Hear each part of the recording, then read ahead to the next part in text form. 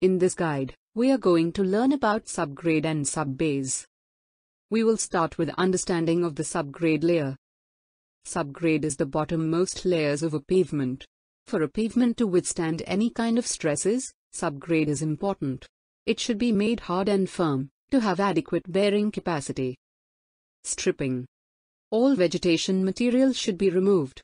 The first step involved in preparation of the subgrade is stripping. It involves clearing the site of the works of turf, grass, weeds, brushwood and other foreign material. Ensure major stumps and roots are removed. Preferably, top 300 mm should be removed and replaced with good soil. The material used is usually natural soil. Ensure soil characteristics provide a dense and an evenly mass of soil. Ensure clay contents is not more than 10%. Subgrade compaction, rolling.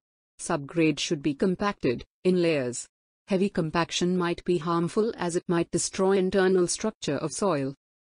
Start from edge, and move towards center. Depth of loose material should not exceed 250 millimeters. It should be shaped to required final profile. For higher thickness subgrades, install in layers. Static rollers should be made to have a minimum of 5 passes over each strip. Each strip should be overlapped by one-third width. Rolling should continue till the surface behave like an elastic mass and is dense and even. Rolling output. A static roller compacts about 25 cubic meters of hard metal in a day. This is approximately equal to 1 kilometer of rolling for a 4 meter wide road. With use of vibratory roller, greater efficiency can be achieved. Rolling quality Increasing number of passes may not increase density of soil. The soil should be compacted a minimum 95%. The density of the compaction can be measured using the dry density method test or by sand replacement test. Dry density method. Place the dolly over the core cutter and hammer the core cutter into the soil. Remove the soil surrounding the core cutter and take out the core cutter. Ensure soil inside the cutter is not disturbed. Clean the top and bottom surfaces and weigh the core cutter filled with the soil to the nearest gram namely M2. Mass of soil equals M2 which is weight of soil with cutter, M1 the weight of cutter. Density equals mass of soil upon volume. Sand replacement method. Metal tray with hole at center is placed on the prepared surface. Using this tray as pattern, the soil or material is excavated using a dibber or a trowel up to a required depth. Material is collected and weighed as capital W. The hole is poured by sand pouring cylinder with sand having weight is W1. The cylinder is weighed again with remaining sand and noted as W4 so as to get the weight of sand in hole as WB. Sand is then taken from sample and weighed, then placed in oven at 110 degrees Celsius and reweighed.